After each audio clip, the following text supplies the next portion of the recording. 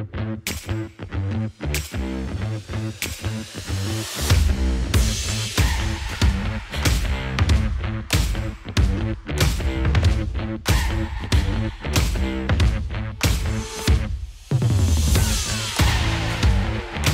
right, well here we are. We're at Bargara, a little bit north of our factory. Well, that's one of my favourite places. So 500 metres to my left is where I grew up. My beach house my family had was here at Bargara Beach. Another 500 metres this side is the local caravan park where I also used to meet with my cousins every year. So they'd come there, have all the Christmas holidays there. I had most of my New Year's Eve celebrations down here. So this is a really important part of the world for me. It's something that really got me into caravanning, camping and all those things. It was just getting together with family and we're going towards Easter now. So I encourage you with your family, if you're out there making these experiences at Easter, they're really good to do because I remember right through my younger ages of all of us getting together. So it's important we do those things and have great memories and the zone behind me helps me do those things.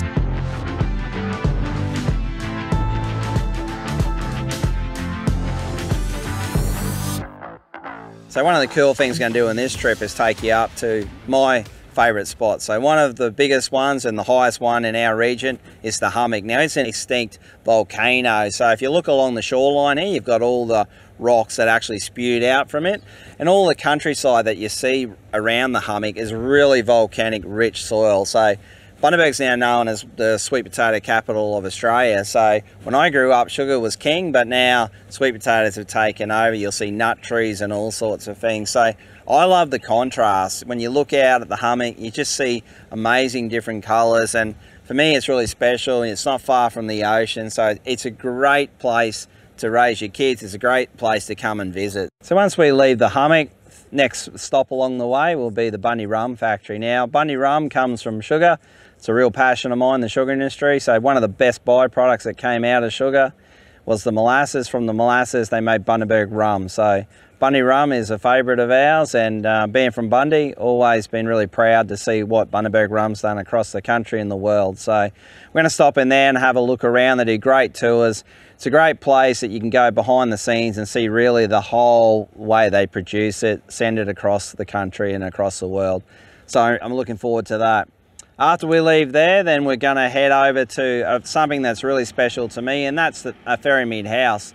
Now, Ferrymead House shows a lot of the iconic families and people that have made major contributions in, in our city of Bundaberg. And one of the things that uh, I'm proud of is my family's heritage. So there's a room there dedicated to my grandfather and my uncle. They started a business called Toft Brothers, which then became Austoft and now is bought by Case IH. So that's a lot of my heritage and a lot of my background where I got to travel the world, see lots of things, grew up in a family where I had the opportunity to be in a family that always invented things. My grandfather was the inventor of the mechanical cane harvester, and then they took that product to the world. So part of what I do at Zone today really comes a lot from my family and from what I've been taught, what I've seen, the privilege that I had to go behind the scenes, to travel, be in meetings and see a lot of stuff through my dad's eyes has really shaped the person I am and why I'm involved at Zone and how I came into manufacturing. And I'm passionate about Australian manufacturing, so I just want to give you a bit of a background on that. And there's other great families that have done things in the region and they're all on display there. So I encourage you when you come to the region, go and check out Ferrymead House. It's run by volunteers, but it's a really cool thing to have a look at and I'm very proud obviously of what our family and the Australian sugar industry has done. And then after that, we're going to actually go and show you a cane harvester operating. Now, they don't normally operate this time of year other than cutting sugarcane plants so they can get next year's crop ready to roll. So one of my best friends is doing that right now and he's in a Toft machine. So we're going to go out and have a look at that. Again, I just wanted to show you that gives you a bit more of an idea of our heritage and where we've come from. All right, well here we are at uh, actually where I grew up in Alloway and this is one of my best friends, Dean Cayley. So Dean's here cutting some plants for Bundaberg Sugar. So, hey mate, thanks for letting us come and taking a few shots of the cells cutting and hanging out here. So appreciate no that, mate. Yeah, no, it's been, it's been good to catch up with you. Yeah, so I'm going to Bundy Rum. I'm going to go to Ferrymead House, show everyone a bit around there about the Toft heritage. And yep. it's awesome that you're driving a Toft, so uh, good to see that. Really good to, you know, have the opportunity to come back and just watch a bit of harvesting. Um, I was going to say because uh, yeah, it's been uh, well as I said, your family name's been in the industry for a long time. Well, they virtually uh, invented their first mechanical harvester, so it's uh, good to see it's still well. The same design is still running to this day. Yeah, it's amazing like that, eh? And that's sort of what I. This whole video that we're doing is just a bit of showing the customers that our heritage was obviously in mechanical cane harvesters, but we're bringing it across to the caravans and I love that, you know, I've driven your machine. It's a great machine. And what was that, a 90... 94 model. 94? So 30, 30 years old this year. Because what Dean's doing here is cutting plants, so you don't need the latest and greatest, but it's so good to just see that machine still cutting cane. Yeah. It was uh, built well, obviously, and still rolling, so no, mate, really appreciate yeah, it. I was built in the same factory you guys, you know, sort of grew up in, so it's been uh, it's been good, and um, it's still the factory still exists today. They still make spare parts of the machine at the factory today. Yeah, it's unreal, and I've had the opportunity to go to Brazil and see the uh, way that Toft's went. Now it's in Brazil, and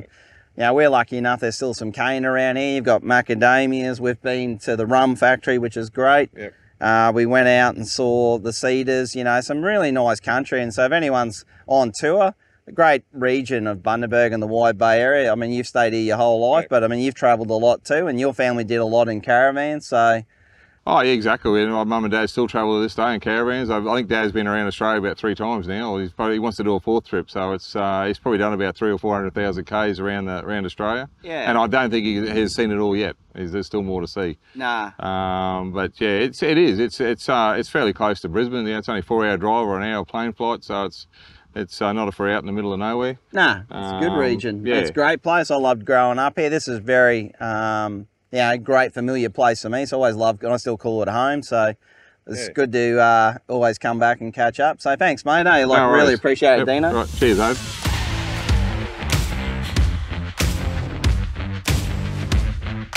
Now we're going to head out then for the night to Splitters Creek Farm. And that's a really cool stop. So I don't mind getting away from everything, just having a bit of time out from work. So one of the things I'm going to do, Splitters Creek's really nice, bit of a farm stay. There's animals, there's ducks, there's geese, there's llamas, you name it, they've got them. But it's a really nice facility. Um, so if you want to bring your family there and enjoy it, go for it. I'm just really looking forward to myself and Elisa. Elisa works online. Obviously I've got a lot going on at Zone at the moment, so it just gives us an opportunity. Sit back at the end of the day, we can get reception as far as we can work, do a few emails and things like that, but then relax.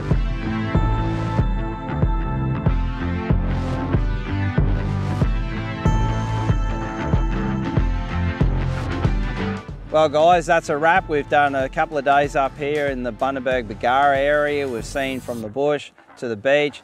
It's always nice to come home and explore. There's lots of iconic spots that we've shown you probably my rum factory is one of my favourites and we were there at Christmas time actually. I took my kids and we had a look through. We went and did the turtles, which unfortunately aren't running at the moment, but there's heaps to do in everyone's backyards in Australia is what we've found as we've travelled. So I hope you and your family get out there. I hope you have some of these great experiences as well.